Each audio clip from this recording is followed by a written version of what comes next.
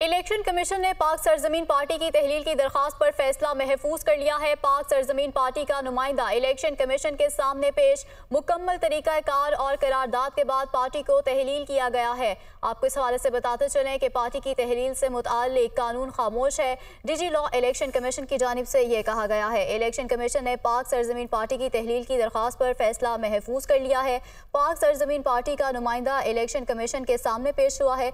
मुकम्मल तरीक़ाकार और करारदाद के बाद पार्टी को तहलील किया गया है। नुमाइंदा पी एस पी की जानब से कहा गया, पार्टी की तहलील से मुतल कानून खामोश है।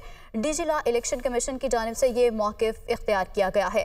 इलेक्शन कमीशन ने पाक सरजमीन पार्टी की तहलील की दरख्वास्त पर यह फैसला महफूज कर लिया है। पाक सरजमीन पार्टी का नुमाइंदा इलेक्शन कमीशन के सामने पेश हुआ है।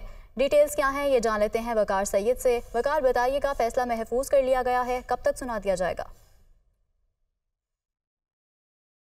जी, बिल्कुल। पाक सरजमीन पार्टी की तहलील का ये मामला है, जिस पर इलेक्शन कमीशन की जानब से जो मुस्तफ़ा कमाल है, उनको एक नोटिस जारी किया गया था और उनसे पूछ गछ की थी की गई थी कि आया जो पाक सरजमीन पार्टी है, क्या इसको तहलील कर दिया गया है? जिसके बाद, आज इस पर जो है वो चीफ इलेक्शन कमिश्नर की सरबराही में तीन रुकनी जो कमीशन है, उन्होंने जो है वो समात की और इस पर जो पी एस पी के जो नुमाइंदे थे वो जो है वो इलेक्शन कमीशन में पेश हुए और उनकी जानब से इस बात का इकरार किया गया कि पाकिस्तान जो पाक सरजमीन पार्टी है, वो बाकायदा तौर पर एम क्यू एम पाकिस्तान में जो है वो मर्ज हो चुकी है जबकि इसके लिए जो तरीक़ाकार है, यानी बाकायदा तौर पर एक करारदाद पर जो अरकान हैं, उन्होंने बाकायदा तौर पर उसकी मुतफ़ा तौर पर मंजूरी दी और उस मंजूरी के बाद जो है वो पाक सरजमीन पार्टी की जो जो है उसको तहलील कर दिया गया है।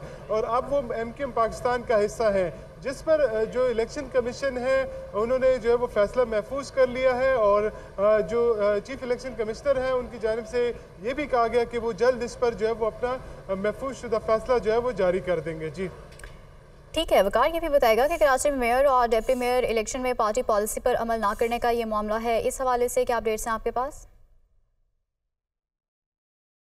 जी बिल्कुल, ये कराची के मेयर और डिप्टी मेयर के इंतखब का ये मामला है, जिस पर पीटीए के जो तीस यूनियन काउंसलर्स हैं वो या तो वोट नहीं डाल सके या जो है वो ऐवान में अंदर जाकर जो है वो खामोश हो गए। उसके खिलाफ पाकिस्तान तरीके इंसाफ की जानब से जो तिरसठ ए के तहत, यानी जो डिफेक्शन क्लाज है कि उनको जो है वो नायल किया जाए, क्योंकि उन्होंने जो पार्लिमानी यानी जो उनकी पार्टी के सरबराह हैं और जो पार्लिमानी लीडर थे, उनकी हिदायत पर वाज तौर पर जो है वो कोई अमल जो है वो नहीं किया गया था। जो बैरिस्टर अली गोहर है, वो पी टी ए की जानब से पेश हुए, जो खुद पाकिस्तान तरीके इंसाफ के चीफ इलेक्शन कमिश्नर भी हैं, उनकी जानब से इस्तः की गई कि चूँकि ये अरकान जो है वो फ्लोर क्रॉसिंग के मरतकब हुए हैं इनको जो है वो फ़ोन किया गया है और उसके बावजूद ये अपनी, उन्होंने अपनी हाज़िरी जो है वो यकीनी नहीं बनाई, जिस पर जो इनको शोकाज नोटिस जो है वो जारी किया गया था, जिसमें से सात अरकान, यानी यूनियन काउंसलर्स ऐसे थे जिनकी जानब से उस शोकाज नोटिस का जो जवाब दिया गया था, ताहम उनकी जानब से ये कहा गया कि वो गिरफ्तारी के डर से जो है वो जो वोट डालने के लिए जो है वो नहीं पहुँचे।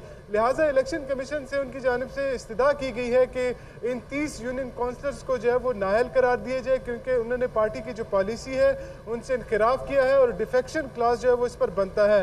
जबकि इससे इसके मुतबादल जो इलेक्शन कमीशन का मौक़ था जो डी जी इलेक्शन कमीशन जो है वो पेश हुए आ, उनकी जानब से ये कहा गया चूँकि इन अरकान की जानब से जो है वो वोट कास्ट नहीं किया गया था लिहाजा ये फ्लोर क्रॉसिंग का जो केस है वो नहीं बनता।